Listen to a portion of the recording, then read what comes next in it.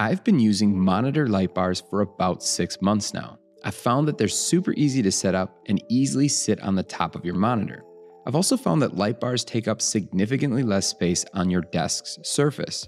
And after using task lamps for over the last 10 years, I found that they just can't provide as much focused lighting as a light bar does. This more focused lighting paired with the ability to adjust the brightness and color of the light bar give them a huge advantage over the older style task lamp. But even though light bars do seem to be like the perfect solution for your lighting needs, they aren't perfect and do have some shortcomings. Let's take a closer look at the seven most common light bar problems and stick around for the end where I share a bonus tip on selecting the best light bar option for you. Limited color customization is the first problem I've noticed with light bars that I've used recently. Not all light bars offer as many color options for the light. Less expensive options, like the $16 Snow Key Life, only have three options. And this can be an issue if you're trying to match other lights in your space.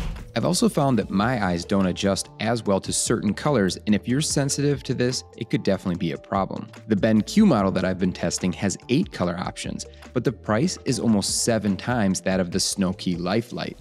I found the brightness issues on a light bar are similar to the color issues, as the brightness options in some of the light bars can be weak, with some models just not offering enough range here. I found that some lights just don't get dim enough, or sometimes bright enough, or in even some cases, they just don't do both well.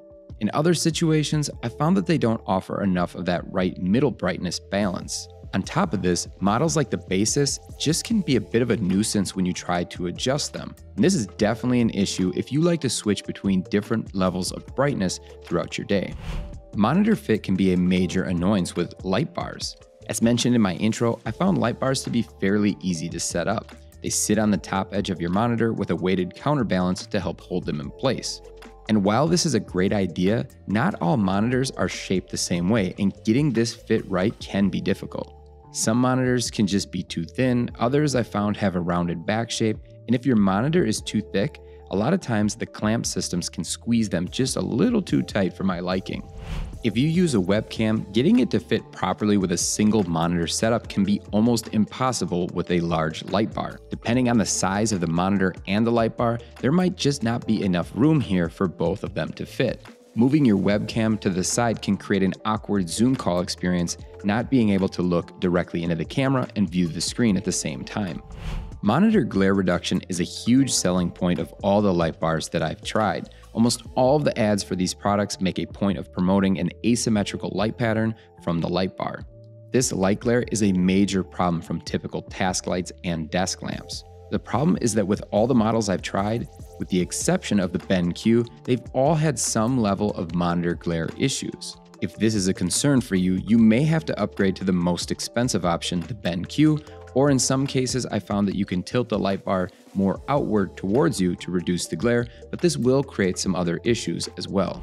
The use of a physical button on a light bar versus a touch sensor can have a significant impact on your overall experience. A physical button will require you to push downward on the light bar, which I've found to unintentionally move the light bar on your monitor, and this can be very annoying. And when this happens, this means you're always having to move the light bar around. Now, on the other hand, touch sensors won't require as much pressure and they tend to stay in place much better.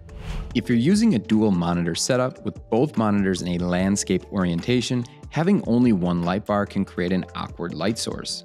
Because of how the monitors are positioned, it can be difficult to center the light. If the monitors are tilting inward, having the light towards the middle of the setup of each monitor will create a light source that sort of goes over the second monitor. Overall, if aesthetics matter, having just one light bar can just look off. If you have a setup with two monitors with one that's your main monitor and the other secondary, it likely won't be as big of a problem. The same is true if you're using three monitors with a main monitor setup, or in some cases, dual monitors that are in a stack setup. As a bonus tip, I've so far tried five different light bar models that range in price anywhere from $16 all the way to $109.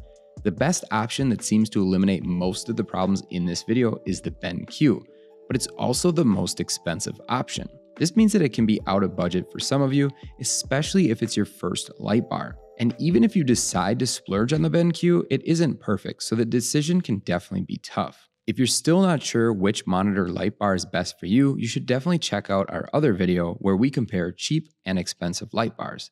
Thanks a lot for watching.